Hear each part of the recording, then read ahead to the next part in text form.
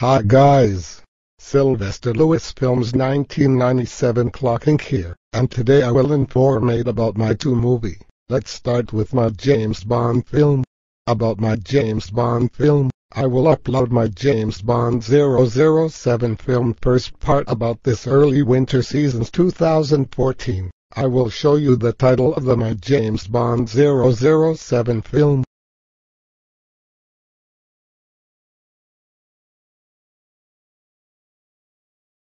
So, I will do it just like the name of the title. I will upload the first part about December 2014 on widescreen, and the last part will about January 2015 when winter is beheld. My James Bond film will be inspired by Projector Films Inc., so stay tuned for my James Bond film coming this December.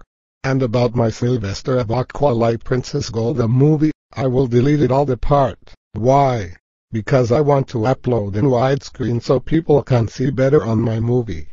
But don't worry guys, I will repetition of my Sylvester Aqualite Princess the movie on part about this month. It will be fifth part of my movie. That's all that I have to say for now. So this is Sylvester Lewis Films 1997 clocking now signing out.